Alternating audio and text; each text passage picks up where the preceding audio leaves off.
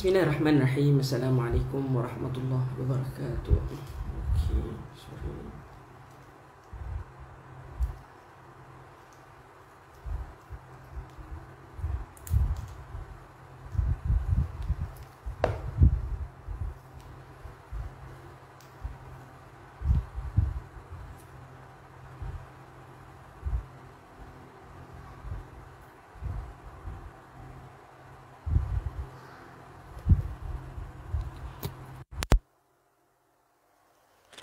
بسم الله الرحمن الرحيم السلام عليكم ورحمة الله وبركاته إن الحمد لله نحمده ونستعينه ونستهديه ونستغفره ونعوذ بالله من شرور أنفسنا ومن سيئات أعمالنا من يهده الله فلا مضل له ومن يضلل فلا هادي له أشهد أن لا إله إلا الله وأشهد أن محمدا عبده ورسوله قال الله سبحانه وتعالى قالوا سبحانك لا علم لنا إلا ما علمتنا إنك أنت العليم الحكيم قال رب اشرح لي صدري ويسر لي أمري واحلل عقدة من لساني يفقه قولي. وقال النبي صلى الله عليه وسلم فإن أصدق الحديث كتاب الله وخير الحديث محمد صلى الله عليه وسلم وشر الأمور محدثاتها وكل محدثة بدعة وكل بدعة ضلالة وكل ضلالة في النار. وكما قال النبي صلى الله عليه وسلم أما بعد. Uh, Alhamdulillah tuan-tuan sedang penonton yang dirahmati tuan-tuan dan puan sedang penonton yang dirahmati Allah Subhanahu wa taala. Alhamdulillah uh, di kesempatan malam ini dapat uh, kita patutnya kuliah kita pada lepas maghrib tetapi saya tangguhkan kepada lepas isyak dan saya buat live pagi pada malam ni. Mudah-mudahan hati Allah bagi manfaat untuk masa yang sedikit ni. Kita kata ialah kita ambillah masa yang ada ni uh, untuk kita mentelaah sikit uh, kitab kita iaitu kitab uh, Syarah Aqidah At-Tahawiyah. Uh, sebelum ni kita telah berhenti pada topik berkaitan dengan kata-kata Syekh rahimahullahu taala muka surat 300 uh, kitab kita iaitu kitab Syarah Aqidah Tahawiyah. Uh, kita berhenti pada takat kata Syekh rahimahullah taala perbuatan manusia adalah ciptaan Allah Subhanahu wa taala dan usaha dari manusia. Eh, tuan-tuan sedang penonton ini dirahmati Allah Subhanahu wa taala. Perbincangan kita yang lalu masih lagi berkisah berkaitan dengan takdir Allah Subhanahu wa taala di antara qadariyah dan jabariyah. Eh, kita bila Syekh rahimahullahu taala Imam At-Tahawi kata perbuatan manusia itu adalah ciptaan Allah Subhanahu wa taala dan usaha sama ada melakukan maksiat ataupun melakukan ketaatan daripada kepada Allah Subhanahu wa taala itu adalah usaha manusia.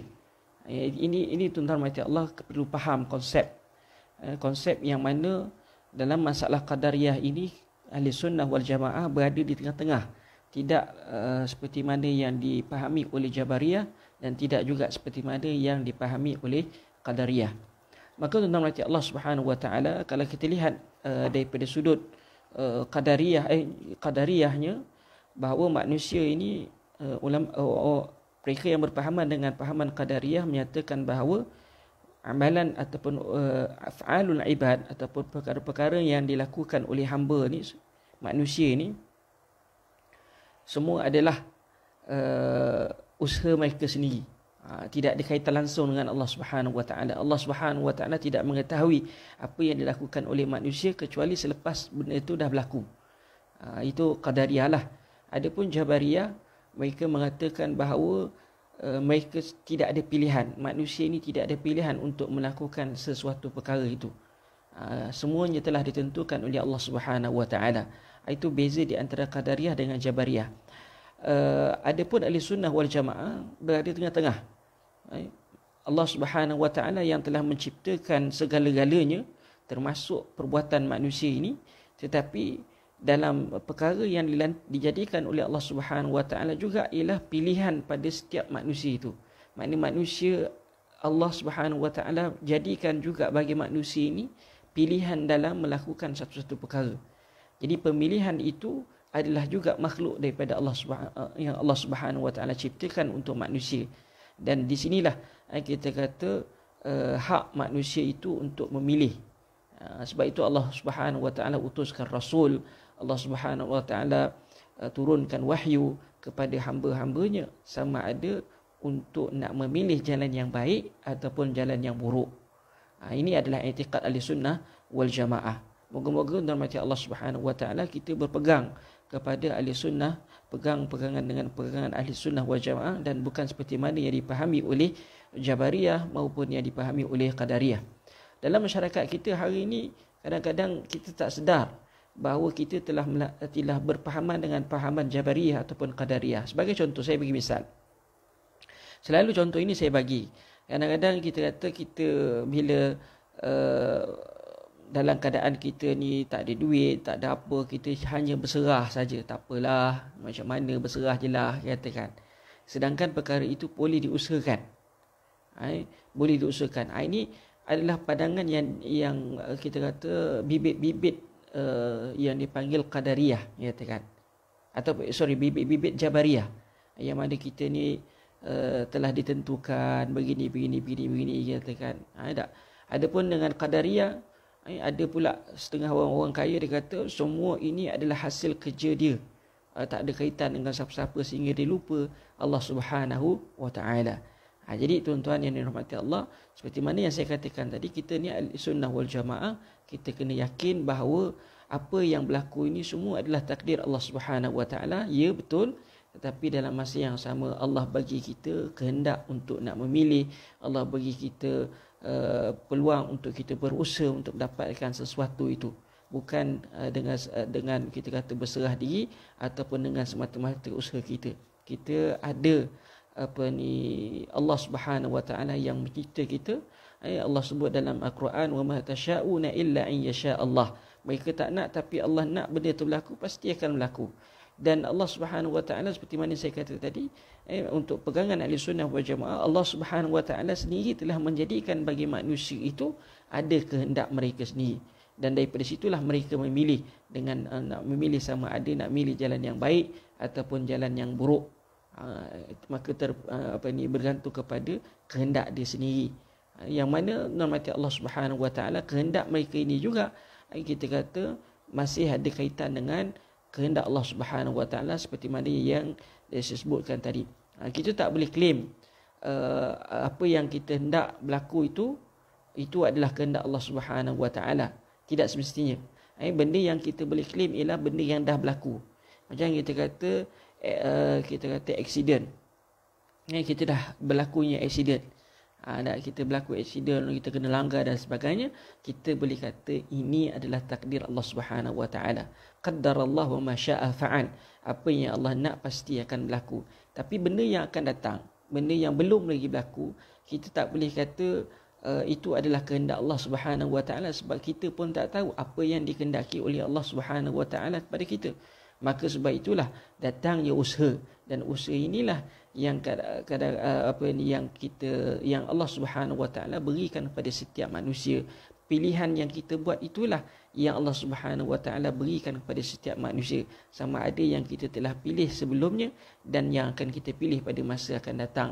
Wallahu taala alam. Ha, ini adalah i'tiqad ahli sunnah wal jamaah adapun pada malam ni kita nak sambung tentang mati Allah Subhanahu wa taala. Allah subhanahu uh, kata muallif rahimahullahu taala walam yukallifhumullahu taala illa ma yutiqun. Eh, Allah Subhanahu wa taala tidak akan mentaklifkan tidak akan memberati seseorang itu kecuali uh, dengan apa yang mereka mampu. Eh, kecuali dengan apa yang mereka mereka mampu. Kita bacakan uh, terjemahan yang disebut oleh apa ni yang diterjemahkan dalam bahasa bahasa Melayu. Kata Syekh rahimahullah taala sekejap ni tuan-tuan. Okey. Allah Subhanahu wa taala melakukan apa yang dia mahu. Eh, dan dia sekali-kali sorry ni bukan mereka tidak upaya melakukan kecuali perkara yang telah ditaklifkan kepada mereka. Eh, mereka tidak uh, tidak uh, tiada upaya melakukan kecuali perkara yang telah ditaklifkan kepada mereka. Uh, bagi saya terjemahan ini ada kurang tepat sikit katakan walam yukallifuhullahu ta'ala illa ma yutiqun maknanya Allah Subhanahu wa taala tidak akan mentaklifkan sesuatu itu kecuali apa yang mereka iaitu apa yang manusia mampu sebenarnya wala yutiquna illa ma kallafahum dan mereka juga tidak mampu melakukan sesuatu kecuali itu yang telah ditaklifkan kepada mereka Ha, ada apa maksudnya? Eh, tuan sidang penuntun yang dirahmati Allah Subhanahu Wa Taala, apa maksudnya? Ha, maksudnya kejap lagi kita akan terangkan supaya lebih lebih jelas eh, apa ni kata muallif rahimahullah taala saya ulang sekali lagi Allah Subhanahu Wa Taala taklif ni apa? Taklif maknanya memberatkan. Taklif ni maknanya memberatkan. Allah Subhanahu ataupun Allah Allah tidak apa ni fardukan kepada kita. Taklif juga boleh makna fardu. Macam salat kan? Apa ni Allah Subhanahu Wa Taala tidak mentaklifkan kepada kita salat. Ha, maknanya telah tidak mewajibkan ke atas salat ke atas kita salat. Ha, kecuali salat itu sebenarnya mampu buat kita semua. Ha, itu sebagai contoh lah. Tapi ayat yang yang disebut oleh Imam uh, At-Tahawi dia kata Allah tidak memberatkan seorang melainkan kadar yang dia mampu dan mereka tidak mampu melainkan kadar yang telah ditetapkan. Ini adalah tafsiran kepada ungkapan la haula wala quwata illa billah. Tiada upaya dan tiada kekuatan melainkan izin dengan izin Allah Subhanahu wa taala. Eh, naqul kata Imam Tahawi kami katakan bahawa tiada helah dan tiada pergerakan bagi seorang dan tiada menuju kepada maksiat melainkan dengan keizinan Allah Subhanahu wa taala. Tiada kekuatan bagi seorang itu mendirikan taat dan tetap di atasnya melainkan semua dengan taufik Allah Subhanahu wa taala. Ha tuan-tuan yang dirahmati Allah Subhanahu wa taala. Ha, kat sini satu perkara yang perlu kita pegang betul-betul. Kita kena percaya yakin. Maksudnya tuan-tuan mati Allah, apa sahaja yang Allah timpakan ke atas kita hari ini, Allah Subhanahu Wa Taala Maha mengetahui yang mana dia timpakan itu adalah di atas kemampuan manusia.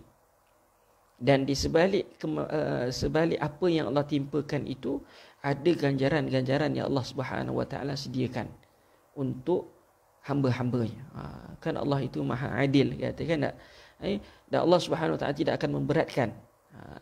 Let's say kita katakan Allah timpakan kepada seorang itu penyakit, musibah penyakit. Adakah kita kata uh, apa ni boleh tak kita kata uh, perkara itu uh, apa di berat dan dia tidak mampu? Ha, tak. Pada zahirnya mungkin dia akan kata begitu, tapi pada hakikatnya tuan-tuan mati Allah Subhanahu Wa Taala, Allah bila timpakan satu musibah bentuk penyakit ke kemiskinan ke Ah, dalam keadaan sekarang ni wabaknya dan sebagainya ah, dalam masa yang sama Allah Subhanahu Wa Taala Maha mengetahui akan kemampuan manusia itu.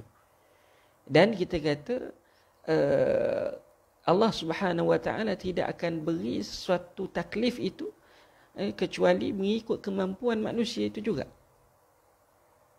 Tak. Kemampuan manusia setakat kita kata uh, 100% contohnya Allah Subhanahu Wa Taala tidak akan uh, beri kepada manusia itu lebih daripada 100% nyatakan. Ha, dan apa yang Allah Subhanahu Wa Taala beri kepada kita itu setakat kemampuan kita untuk kita berdepan dengan satu-satu perkara itu. Ha dah ayat macam salat dia katakan Allah Subhanahu Wa Taala telah mewajibkan kita salat lima waktu sehari semalam maka manusia ini tidak boleh kata berat ada ha, kerana lima kali fardu salat itu sebenarnya adalah pada dasarnya telah mengikut kemampuan manusia. Ha, seorang itu kata, oh, saya tak mampulah Ustaz semayang lima waktu sehari semalam, saya tak mampulah semayang lima waktu semalam. Perkara itu dianggap sebagai batil. Kenapa batil? Kerana Allah Subhanahu Wa Taala yang mencipta manusia ini, Allah Subhanahu Wa Taala yang Maha mengetahui perihal manusia luar dan dalamnya kemampuan manusia Allah Maha mengetahui maka Allah Subhanahu wa taala wajibkan sesuatu amalan itu sesuatu kerja itu sesuatu perkara itu berdasarkan kemampuan masing-masing ha. Eh, berdasarkan kemampuan seorang hamba itu menyatakan So sebab itu ungkapan yang ungkapan apabila mengatakan bahawa dia tidak mampu nak salat, benda-benda yang wajib misalnya kata dia tak mampu nak salat, dia tak mampu nak puasa itu tuan-tuan mati Allah sesuatu perkara yang kita kata tidak tidak sepat, tidak kata boleh terima 100% katakan. Ha, melihat kepada uh, keadaan.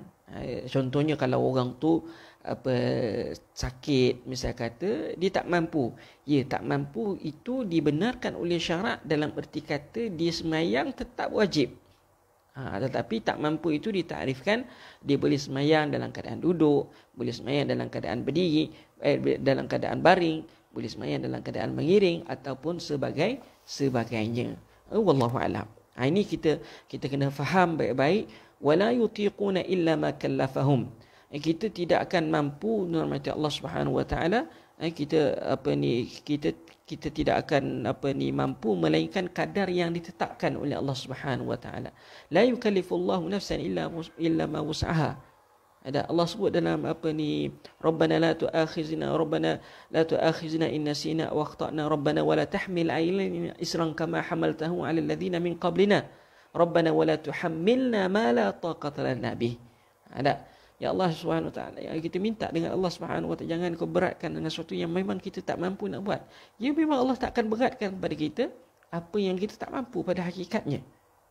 Ada pada sebenarnya ha, Allah Subhanahu wa taala apa yang Allah berikan kepada kita, apa yang Allah timpakan kepada kita adalah kita kata bergantung kepada kemampuan makhluk itu sendiri. Ha, itu etikad kita ahli sunnah wal jamaah. Kemudian kata Imam lagi dia kata la dia kata uh, inilah tafsiran uh, kata-kata apa ni dalam hadis Nabi sallallahu alaihi wasallam itu berkaitan dengan zikir la haula wala quwata illa billah.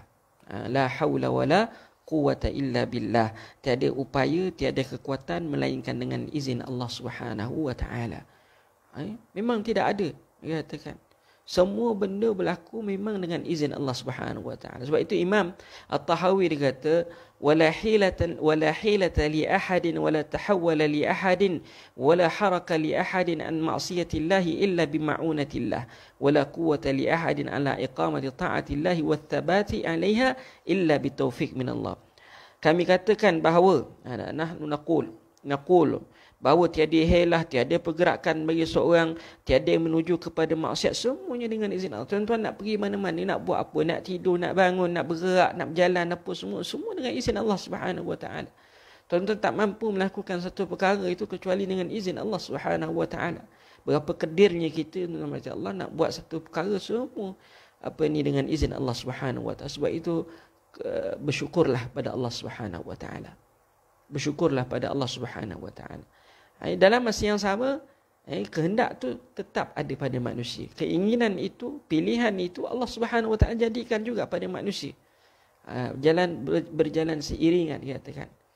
Ah, sebab itu orang apa ini masalah kadar itu takdir itu dan kadar dan kadar itu perlu pahami baik-baik dan Allah. Tak orang tak boleh melakukan mengatakan bahawa saya buat maksiat ni kerana takdir Allah Subhanahu Wa Taala.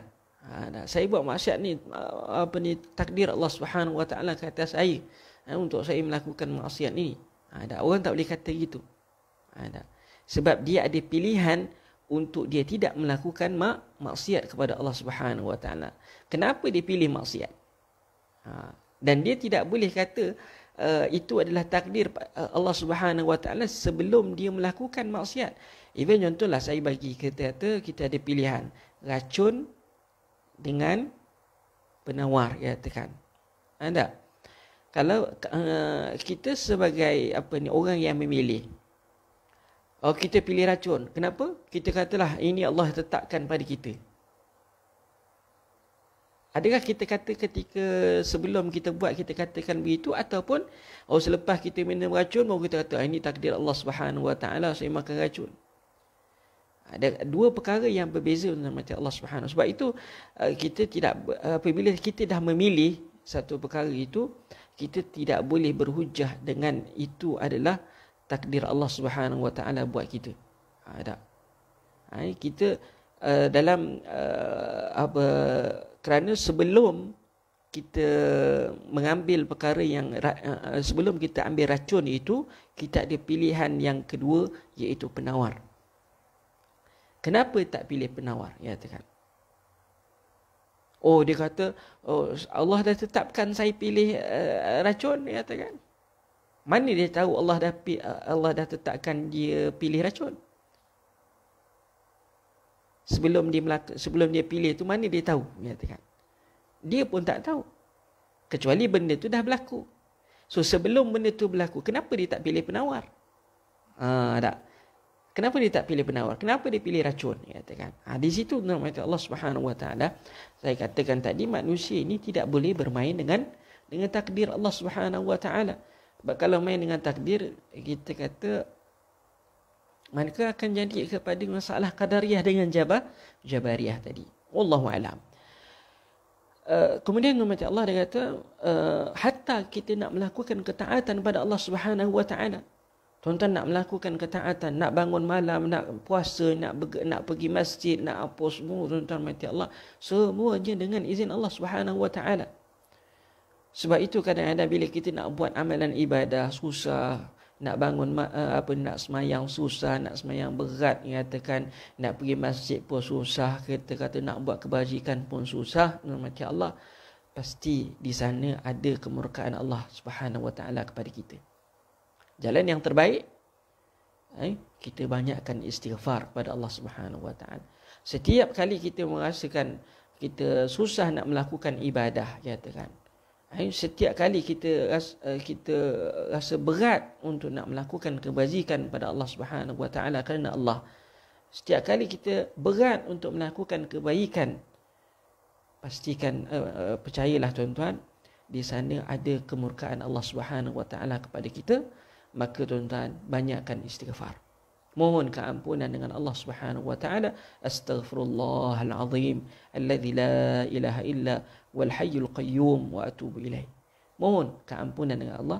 Allah Ghafur, Allah Rahim, Allah Maha Pengampun, Allah Maha Pengasihani. Jadi tak salah untuk kita sering kali memohon keampunan dengan Allah Subhanahu wa taala. Kadang-kadang orang tanya ustaz saya ni buat maksiat mohon ampun. Buat lagi maksiat mohon ampun. Buat lagi maksiat mohon ampun. Tuan ada orang akan kata begitu bukan? Orang akan kata ya ha? kerap kali melakukan maksiat kerap kalilah bertaubat kerap kalilah berulang benda yang sama. Tuan-tuan mati Allah Subhanahu Allahumma ya muqallibal qulubi thabbit qalbi ala ta'atik. Ya musarrifal qulubi sarrif qalbi ala ta'atik. Ya hay yang membolak-balikkan hati manusia eh? Apa ni balikkanlah hati aku eh, kepada urusan ketaatan padamu ya Allah. Banyakkan doa tu tuan-tuan. Doa yang warid dalam hadis Nabi sallallahu alaihi wasallam. Allahumma ya musarrifal qulub sarrif qalbi ala di ala taatik. Yang membolak-balikkan yang mengubah hati katakan. Sebab Allah Subhanahu wa taala hati manusia ni sering berubah-ubah katakan. Eh, sering berubah-ubah dalam hati Allah Subhanahu wa taala. Maka kita kata Jalan yang terbaik ialah doa. Ada seorang uh, pemuda ini bertanya kepada guru, seorang alim ulama di Syria. Saya baca terbaca lama dah saya baca kisah ni. Eh, bila dia mengadu ke Syekh dia kata, Syekh dia kata, "Kenapa aku buat uh, aku dah bertaubat, aku dah mohon keampunan dengan Allah Subhanahu Wa Taala, tapi masih lagi aku buat maksiat." Bertaubat buat lagi, bertaubat buat lagi. Syekh kata jawapan yang yang sangat uh, apa ni menusuk kalbu lah kalau Syekh ni. Katakan dia bagi jawapan buat apa hang ngadu ke aku? Dia kata hang mengadulah kepada Allah Subhanahu wa taala. Dia yang musarrifal qulub. Dia yang musarriful qulub. Dia dah yang membolak-balik hati manusia ni. Maka mohonlah kepada Allah Subhanahu wa munajat pada Allah Subhanahu wa supaya Allah tetapkan hati kita ni atas urusan ketaatan kepada Allah Subhanahu wa taala Maka Allah Subhanahu Inna Allah ala kulli syai'in qadir. Ya katakan Allah Maha berkuasa atas tiap-tiap sesuatu. Jadi tuan-tuan yang dirahmati Allah, hatta kita kata nak buat nak buat kebajikan kepada Allah Subhanahu wa taala itu juga semuanya datang taufik daripada Allah Subhanahu wa taala. Nak dapatkan taufik daripada Allah Subhanahu wa taala, kita kata tuan-tuan adalah dengan dengan dengan cara kita kata mendekatkan bertakwa kepada Allah Subhanahu wa taala wa may yattaqillaha yaj'al lahu makhraja wa yarzuqhu min haitsu la yahtasib kata. Eh, tak? Rezeki ni banyak tuan-tuan. Ha, rezeki ni nak mentaati perintah Allah itu rezeki juga. Jangan kata rezeki ni wang ringgit. Kesihatan berrezeki banyak aspek rezeki. Tapi siapa yang bertakwa kepada Allah Subhanahu wa taala. Ayat-ayat yang lain intan surullah yang yang surukum kamu bantu Allah Allah bantu kamu. Ha, jadi kita kata apa yang saya sebutkan tadi nama Allah Subhanahu Wa Taala eh, pasti eh, apabila kita rasa susah eh, nak melakukan ibadah sering kita melakukan maksiat maka panjatkanlah istighfar mohonkanlah keampunan untuk diri kita tuan-tuan. Dengan lafaz istighfar astaghfirullah paling pendek astaghfirullah ha, nak panjang tu astaghfirullahalazim alladzi la ilaha illa huwal hayyul qayyum wa atubu ilaih. Ataupun nama Allah Subhanahu wa taala kita baca istighfar eh, zikir pagi dan zikir pagi Allahumma anta rabbi la ilaha illa anta ana abduka wa ana ala ahdika wa wa'dika mastata'tu a'udzu bika min syarri ma sana'tu wa abu laka bi ni'matika alayya wa abu laka bi dhanbi faghfir li fa innahu la yaghfiru dhunuba illa ant. Nabi kata siapa yang baca waktu pagi istighfar ini yang dipanggil sayyidul istighfar siapa yang baca pada waktu pagi tuan-tuan maka orang itu kalau anda kata dia mati di meninggal dunia pada siang hari wajabat lahul jannah maka baginya syurga. Siapa yang baca pada waktu malam tuan-tuan maka orang itu jika anda kata malam harinya dia meninggal dunia Allah Subhanahu wa taala uh, beri balasan uh, mana telah layaklah dia untuk dapat syurga Allah Subhanahu wa taala Bagus-bagus mati Allah. Eh, Allah berikan rezekikan kepada kita taubat yang nasuha sebelum mati. Ha, lepas tu banyakkan doa Allahumma rzuqni taubatan nasuha qabla al-maut. Ya Allah rezekikanlah kepada aku ke apa ni taubat yang nasuha itu sebelum aku mati. Sebelum mati tuan-tuan. Orang seorang itu sangat-sangat dikira beruntung jika dia mati selepas dia bertaubat dengan sebenar-benar taubat kepada Allah Subhanahu wa taala. Yang dia panggil taubat nasuha. At-taubat tajubu ma qablaha. Ha, dengan taubat itu dapat menghapuskan dosa keseluruhan dosa yang sebelumnya. Jadi bertaubatlah kita katakan mohon keampunan dengan Allah Subhanahu wa taala. Wa kull eh, kemudian kita kata muallif rahimahullah taala wa kull shay'in yajri bi masyiati Allah taala wa ilmuhu wa qada'ihi wa qadrihi غلبت مشيئته المشيئات كلها وغلب قضاؤه الحيل كلها ma yasha wa huwa ghairu zalim abadan. Kata Imam At-Tahawi lagi, dia kata apa? Tuan-tuan, semua perkara yang berlaku dengan kehendak, dengan ilmu, dengan qada dan qadar Allah Subhanahu wa taala. Memang kehendak Allah. Allah yang nak. Idza arada syai'an an yaqula lahu kun fayakun wa ma tasha'una illa an yasha Allah katakan. Ada kehendak Allah Subhanahu wa taala apa yang apa yang yang berlaku telah berlaku hari ini dekat atas dunia ini semua kehendak Allah Subhanahu wa taala. Ya betul. Betul kan? Ha, memang betul. Dan Allah Maha mengetahui benda yang berlaku yang dah berlaku, tengah berlaku, akan berlaku. Allah Maha mengetahui. Qadar dan qadar Allah Allah sudah mentakdirkan uh, apa ini apa yang berlaku ni sampai kiamat sampailah ke uh, seterusnya tuan-tuan. Semuanya di dalam takdir Allah Subhanahu wa taala belaka. Maka macam Allah kehendak-kehendaknya, ha, kehendak Allah Subhanahu Wa Taala mengatasi kehendak-kehendak yang lain. Ha, di sini kata Imam Tahawin. Wa ma dia kata uh, disebut ghalabat masyiatul masyiati kullaha. Kehendak Allah mengatasi kehendak-kehendak yang lain. Ha, ini ayat Al-Quran wa ma tasyauna illa in yasha Allah. Ada. Wa ma tasyauna illa in yasha Allah. Mereka tak nak tapi Allah nak pasti berlaku. Ha, kan hadis yang saya sebutkan sebelum ni inna ya'ma amal ahli al-jannah so uh, sorry uh, kita dalam hadis yang lain inna inna inna uh, law ijtama an-nas ala an yanfa'uka la yanfa'uka illa ma kutiba lak manusia kalau berhimpun semuanya nak memberi manfaat pada seorang itu tidak dapat dia beri manfaat pada individu itu kecuali telah tertulis di uh, di di di lauhul mahfuz telah ditulis di sisi Allah Subhanahu wa taala. Wa law ijtama'a an-nas 'ala yadurruk la yadurruk illa ma qad kutiba lah. Ha, sama juga orang pakat semua nak bagi mudarat buatlah kok mana sekalipun tetapi bukan uh, tidak termasuk dalam takdir Allah Subhanahu wa taala maka tak akan berlaku. Ha tak akan berlaku. Cuma saya ingatkan sebelum ni macam Allah orang uh, janganlah seorang itu pergi ke naik uh, 10 tingkat bangunan dan dia terkejut daripada bangunan dengan berhujah Allah Subhanahu Wa Taala kalau nak aku mati aku mati kalau Allah nak aku hidup aku hidup ha ini tuan-tuan mati Allah pemikiran yang salah Katakan. Pemikiran yang salah. Ataupun aku makan racun ni. Kalau Allah nak aku hidup, aku nak tunjukkan. Ada. Ha, jangan bermain. Kita kena ingat tentang mati Allah Subhanahu wa taala. Allah Subhanahu wa taala juga sebut dalam ayat yang lain, "Wala tulqu bi aydikum ila tahlukah." Jangan kamu campakkan diri kamu dalam kebinasaan. Ada. Kita tak tahu apa yang Allah takdirkan buat kita.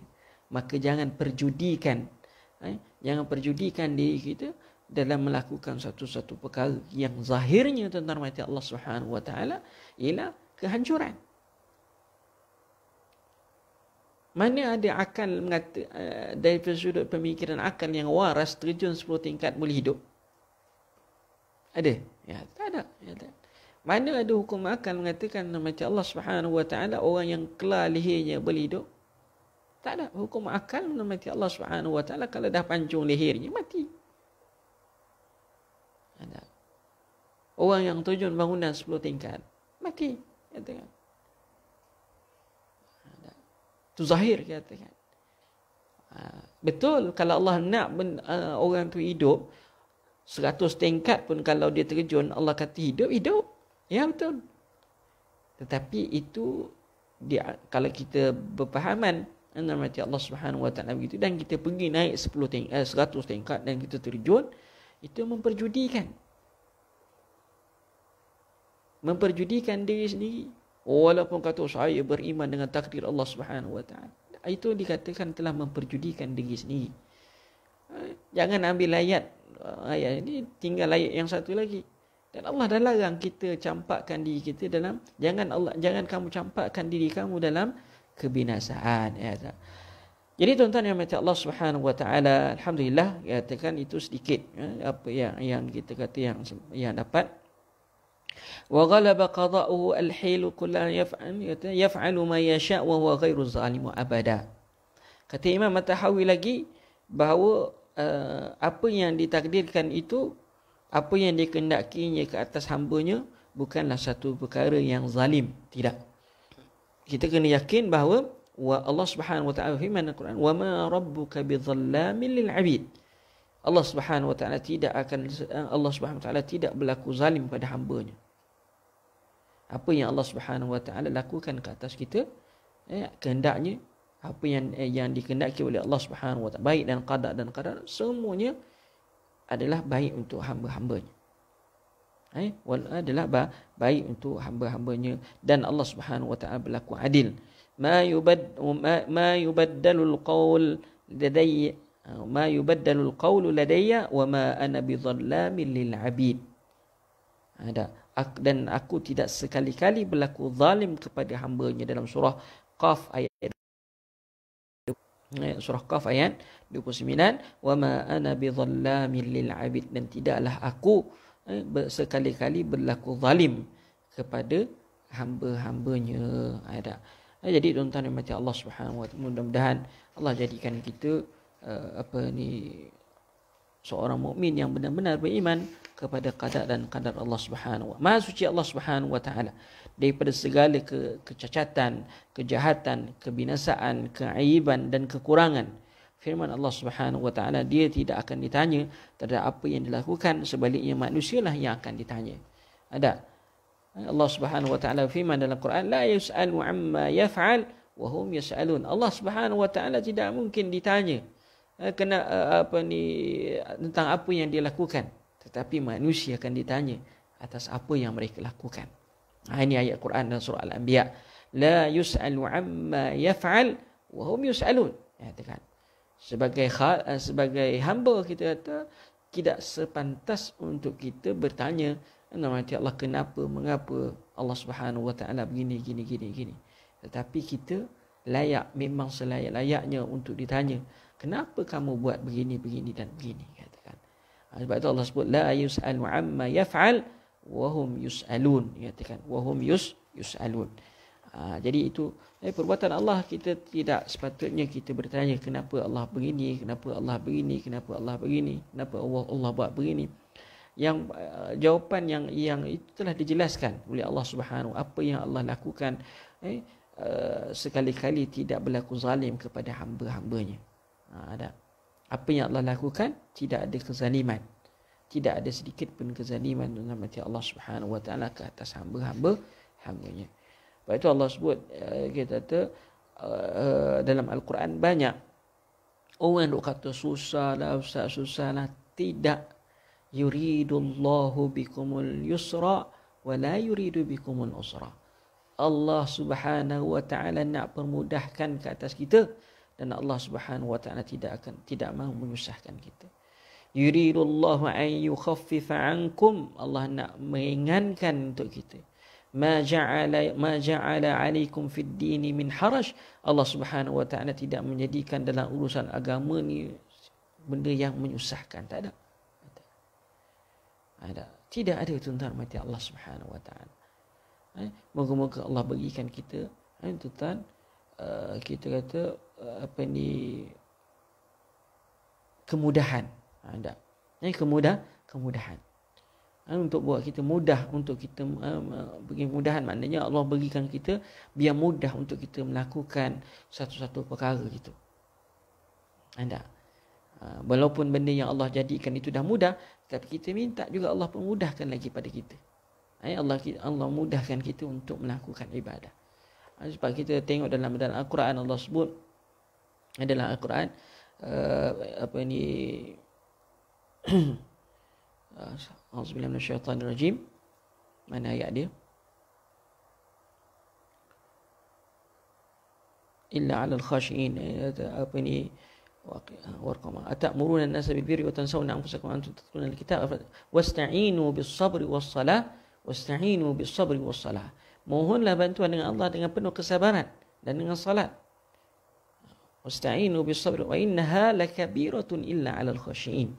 Sesungguhnya salat itu berat kepada uh, kecuali kepada orang-orang yang khusyuk. Moga-moga Allah Subhanahu wa taala jadikan kita beriman pada Allah supaya amalan-amalan yang kita dapat nak lakukan itu menjadi ringan katakan.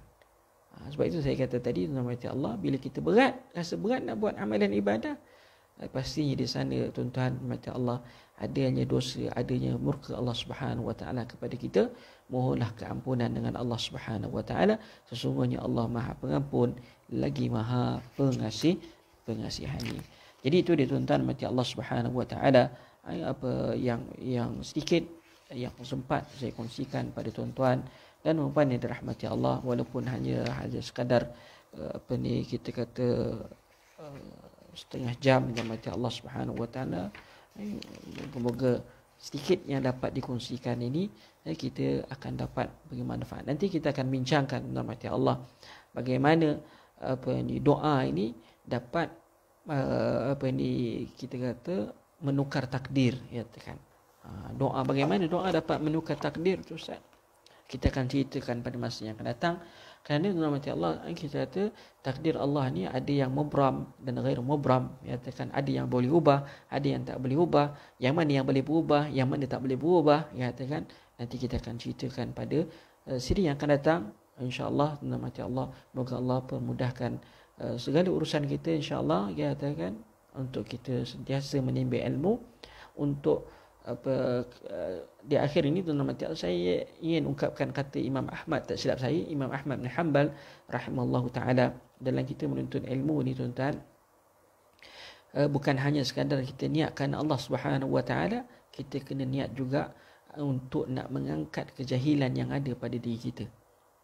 Nah, untuk niat kita tu nak mengangkat kejahilan yang ada dalam diri kita supaya kita ala basirah eh, kita tahu sesuatu perkara itu dengan dengan ilmu dan tidak ada cara lain nak mendapat ilmu itu kecuali dengan menuntut ilmu daripada mereka-mereka yang uh, yang ada authority untuk menyampaikan menyampaikan ilmu.